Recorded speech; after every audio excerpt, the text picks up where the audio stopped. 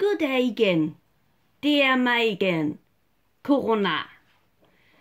I dag er det søndag, og vejret er dejligt.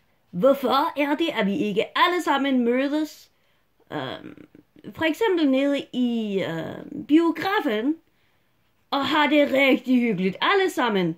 Så kan vi sidde sammen og se film sammen.